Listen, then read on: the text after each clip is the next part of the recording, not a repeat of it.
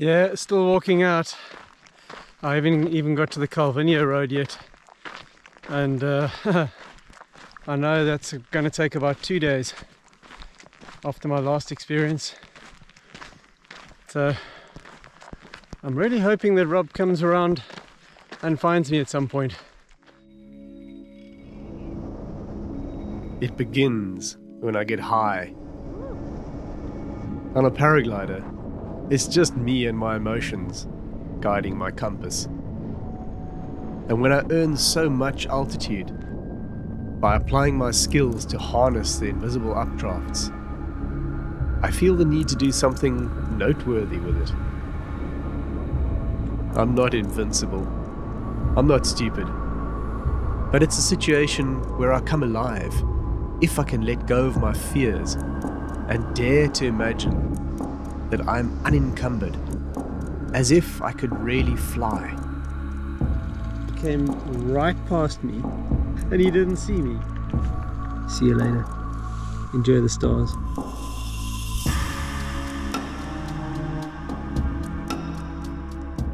Flying is a blend of dreaming and doing. Gliding through the sky but also remembering the last flight or planning the next one. So as you watch these stories, you can be in that higher plane. Join me on a flight into the land without end, the Tankwa. I wanted to come here, just so that I could be here, doing this.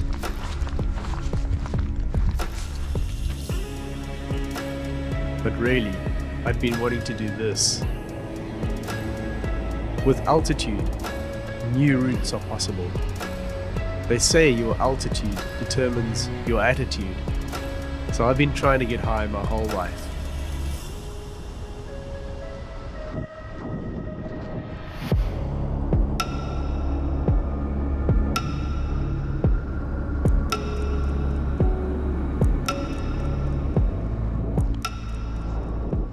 The film crew here is just me trying to hold onto the GoPro while controlling a collapsible wing with the other hand. So forgive me for the moments where things go upside down. My navigation is similarly being run on a phone stuck on with Velcro. Maybe we don't deserve to be up here among the real aircraft. It feels more like I've found a secret way to make my body fly. But let's see how far it can go.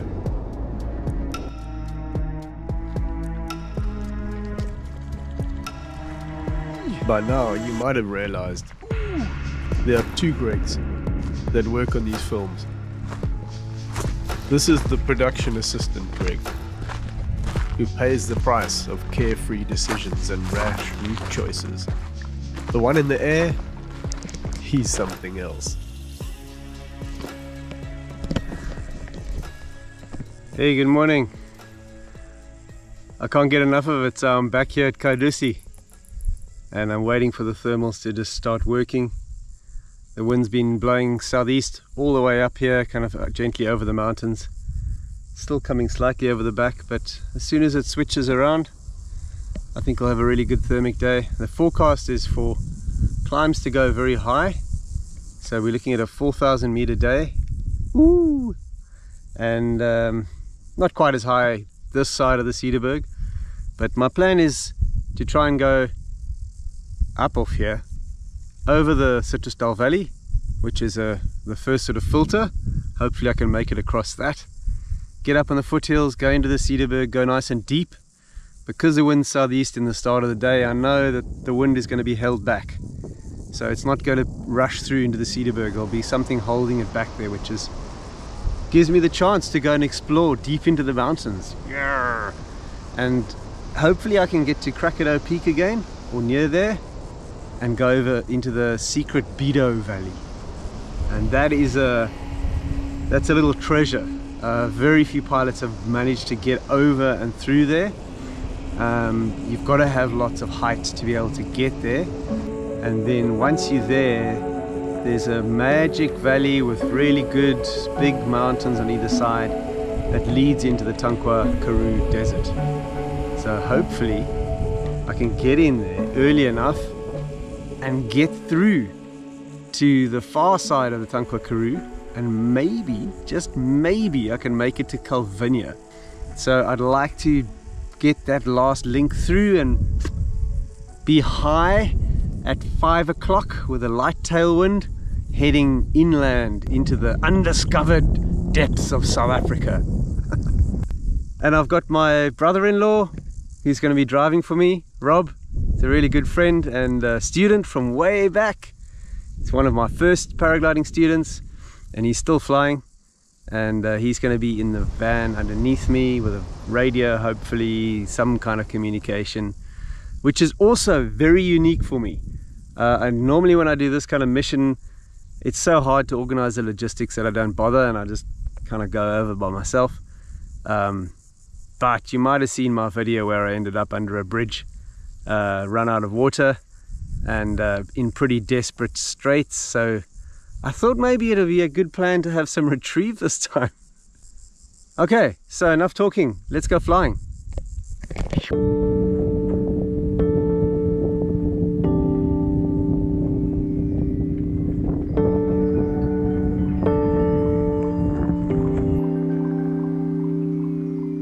Feeling like you're floating, sky. See the lights are glowing and flicker in your eyes. The shadow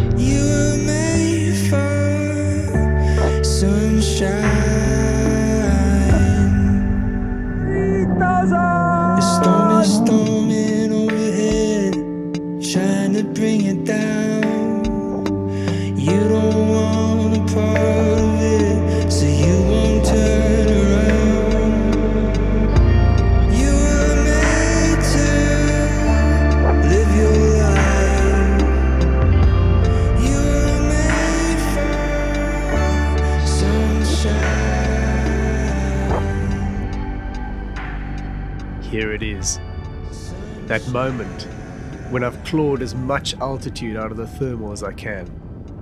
I don't want to get pinned against the peaks by trying to get more or losing it all. But you can see that the Biedouw Valley is a long way ahead. It's a necky glide over some gnarly terrain. But the reward is the feeling of freedom when I trust my abilities and I believe I can fly. Let's do this. This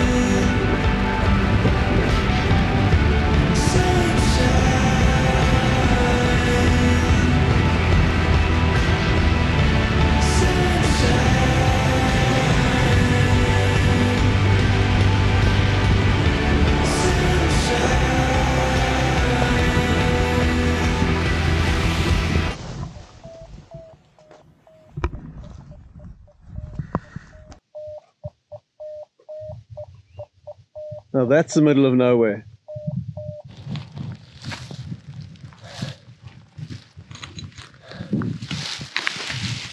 Whew. Ah, it's dry out here. Beautiful place, beautiful space. This is real Rango country.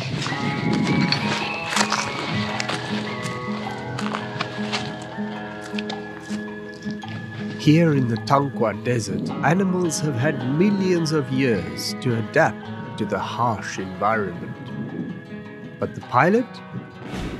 He's going to die. Ah, at the moment, we have water. Hopefully, Rob actually finds me. It's easy. Look, I'm here.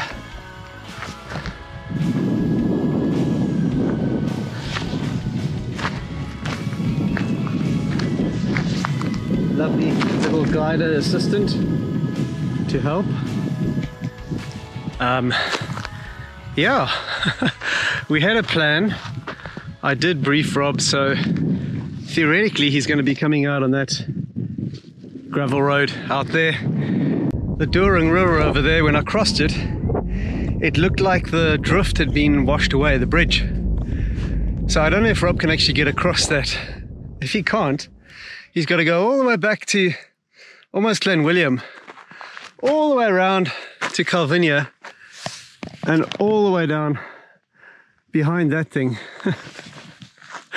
we didn't have radio comms once we were in the Tankwa. Like once I came over, I've never really managed to get hold of him. So it's almost the same as when I fly on my own. What have I got for food this time? I don't have any bivy gear. So I'd sleep in the glider. Um, I think I've got some fruit, dried fruit, and uh, three liters of water now, four liters of water.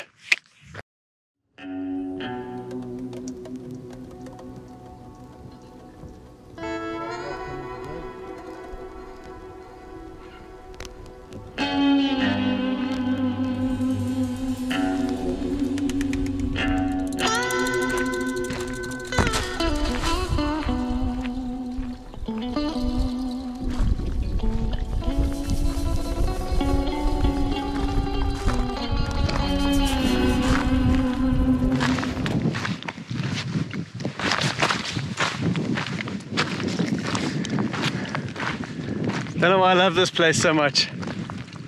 It's just beautiful. It's so elemental. It's just landscape on a huge scale.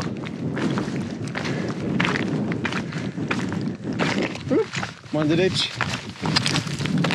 What I didn't know was Rob had taken a diversion off the planned route, and the road had got worse and worse until he was properly stuck in the sand, on his own, with no cell phone reception. Rob, Rob, come in for Greg. we had a situation. My InReach messages merrily went onto a web server, which might have amused someone with internet access. If you're going to go into the backcountry, make sure you both have an InReach unit. Luckily, Rob is resourceful and has a special skill digging. Uh, there's the last of the sun. So it's going to cool down nicely now. Got to conserve water out here. So I'll do most of my walking in the evening. I'll keep walking now and get out to sort of a major road. Then at least if uh, my retrieve doesn't find me, I can hitchhike with one of the four cars in every day to get up to Calvinia. And that's back where we came from. Somewhere over there. That's the Cederberg. I think that's Sneeuberg and Tafelberg. The two big ones. Ah, it's so good for the soul to see that this place is unchanged. And it's just vast and it's untouched. And you can still paraglide across it. Ah! So there's more distance that way for he who wants it. Come on down to Kardoesie and chase your dreams into the desert. People spend so much time looking for thermals. You don't have to look for thermals, just come to Kardoesie. Take off, they're right there for you, waiting for you to fly wherever you want to. Might be a good idea to get a driver though. That's a little spur. Things that live in holes. Probably best not to poke that.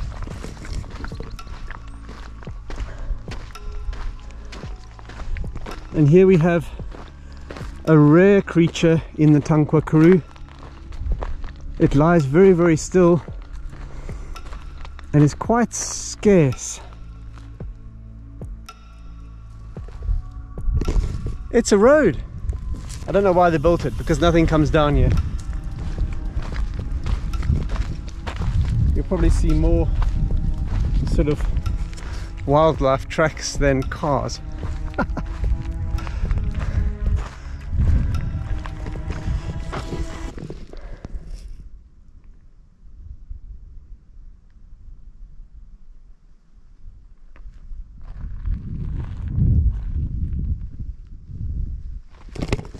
Yeah, there's that desert silence.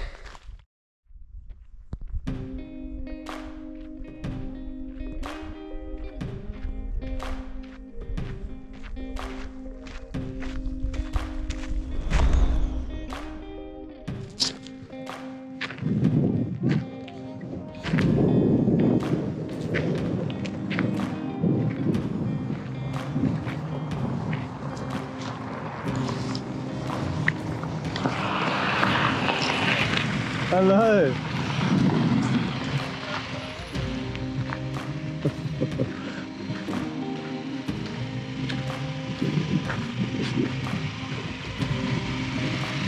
I had an epic. I can't believe you went right past me. And I was on the radio, I was like, Rob, Rob, Rob, Rob, Rob, Rob. Oh my god, I finished car. It's stuck in sand for about an hour. I assumed from your track you were going north, so I took that other road. Yeah. And it was good to a point, then it got. Uh, Ah. I saw someone with a, with a carrying a bucket of water. And suddenly I was like, "Very good north." It. Rob's found me. All is forgiven. It's good to have self belief. But it's even better to have a friend who believes in you and will go the extra mile to help you reach your dreams. Thanks, Rob, for being my brew. If you like this kind of story, you'll love the X-Pyr race documentary, where I get properly stuck into the Pyrenees Mountains. Click the link on screen or search X-Pyr Story. Visit me on flywithgreg.com to get more skills.